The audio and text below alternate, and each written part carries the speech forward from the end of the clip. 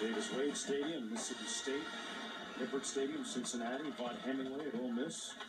And not many of those aforementioned ones lie right in the middle of a major city like this.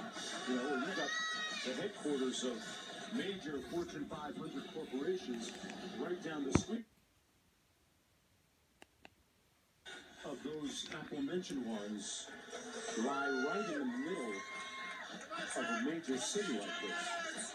You know, you got the headquarters of major Fortune 500 Awesome. corporations right down the street, which is, by the way, a great selling point in recruiting. The Crimson Georgia Tech. and. Their players have some great internships in the summertime. If you talk about wanting to work for Fortune 500 Feeling